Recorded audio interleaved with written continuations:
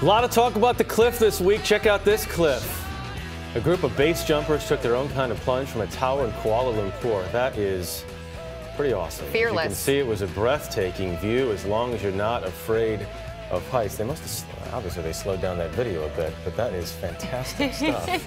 no, this is this is real time, folks. Real time. This looks like the kind of story, Jeff, that you would like to do. I would actually. Maybe in 2013. I would actually like to do that. I look forward to seeing that. Will you send me to Kuala Lumpur?